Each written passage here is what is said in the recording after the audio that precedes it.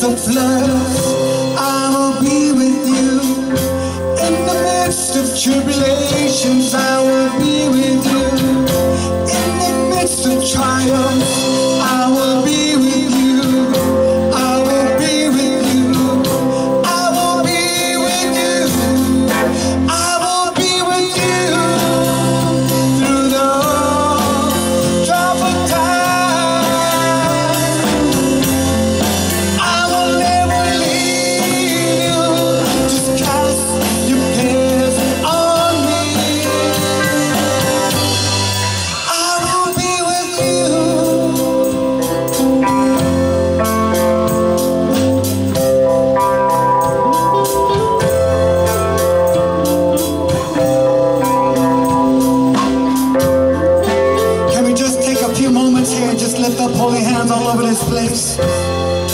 worship the God above? Just take a few moments and just tell the Lord, thank you, Lord, for never leaving me.